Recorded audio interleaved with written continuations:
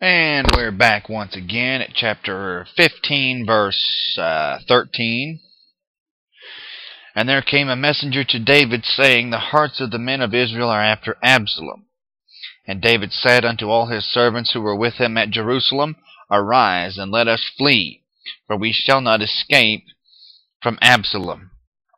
Make speed to depart, lest he overtake us suddenly, and bring calamity upon us, and the city with the edge of the sword. And the king's servant said unto the king, Behold, your servants are ready to do whatsoever my lord the king shall appoint. And the king went forth, and all his household after him, and the king left ten women which were concubines to keep the house. Notes. Now at this time David wrote several of the Psalms, Psalms 3 through 4, Psalms 40 and 41, and Psalm 63. All of this, the writing of the Psalms as given to him by the Holy Spirit, despite his past problems, they show us how close to God that David actually is beginning to be. Verse 17 And the king went forth, and all the people after him, and tarried in a place that was far off. And all his servants passed on beside him, and all the Cherethites, and all the Pelethites, and all the Gittites, six hundred men which came after him from Gath passed on before the king. Notes. I might go ahead and quickly add that these guys were not exactly pushovers, they were seasoned veterans of fighting. Verse 19. Then said the king to Ittai the Gittite, Why do you go also with us? Return to your place and abide with the king, for you are a stranger and also an exile. Notes. Now, Obviously, this man was a Gentile, but now a proselyte to the Jewish faith. Uh, Ittai's going to have some common sense that is actually going to, well, we'll just go ahead and read. Verse 20.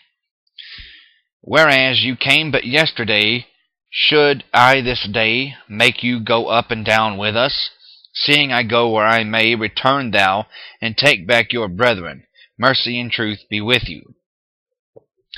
And Ittai answered the king and said, As the Lord lives, and as my lord the king lives, surely in what place my lord the king shall be, whether in death or life, even there will also your servant be. Notes.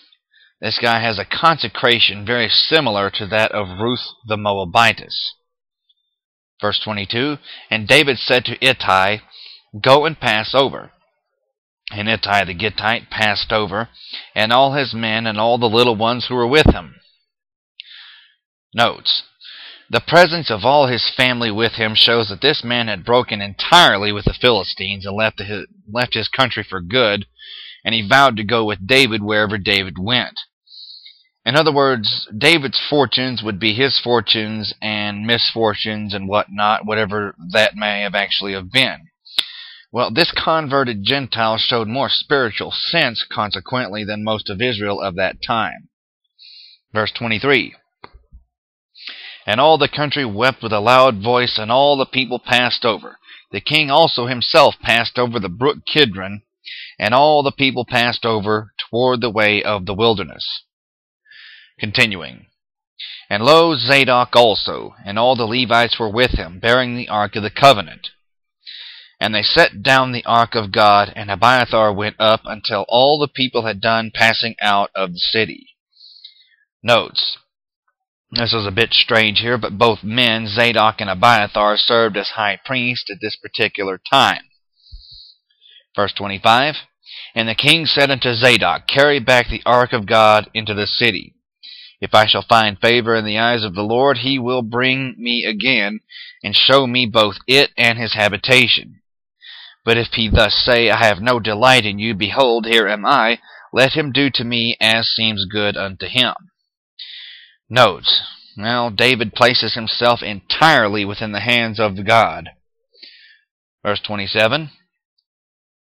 The king said also unto Zadok the priest, Are you not a seer?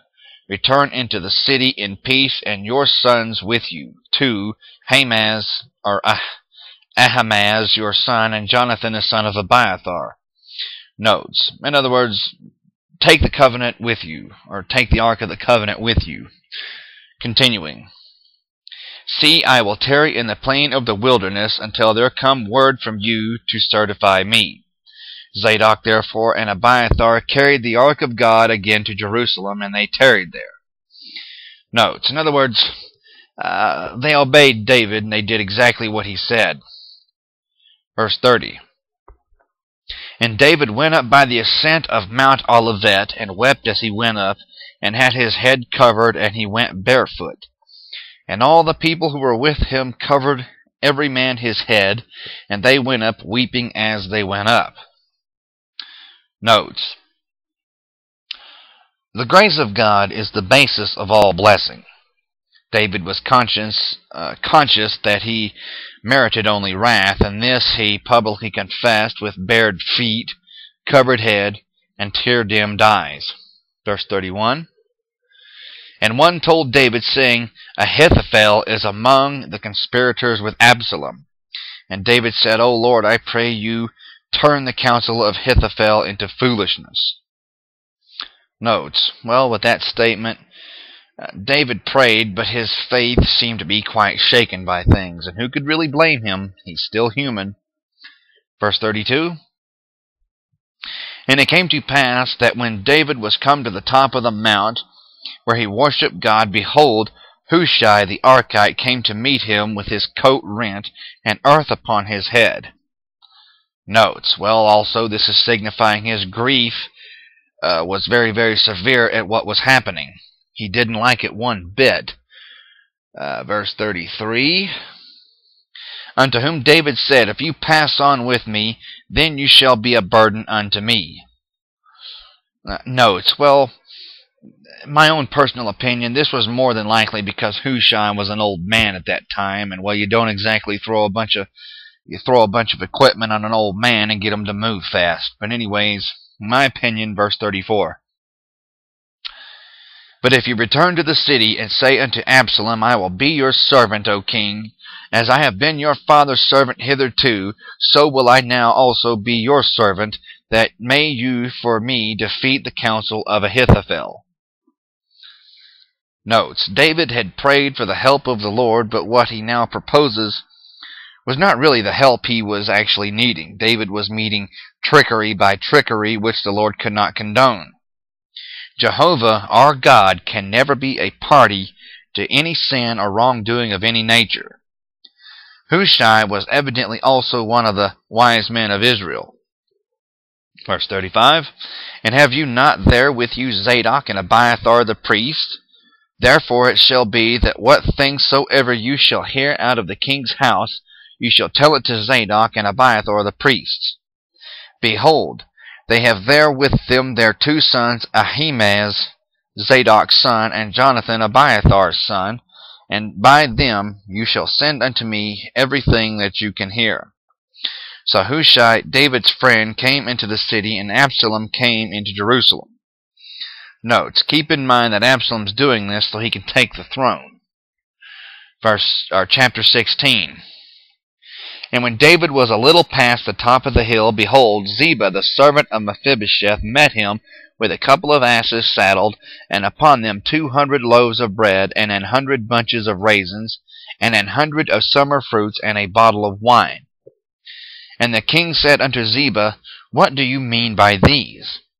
And Ziba said, The asses be for the king's household to ride on, and the bread and summer fruit for the young men to eat, and the wine that such as be faint in the wilderness may drink. And the king said, And where is your master's son? Speaking of Mephibosheth, of course. Scripture. And Ziba said unto the king, Behold, he abides at Jerusalem. For he said, Today shall the house of Israel restore me the kingdom of my father. Notes. Ziba lied about Mephibosheth. We'll pick up in chapter 16, verse 4. Thank you, and God bless.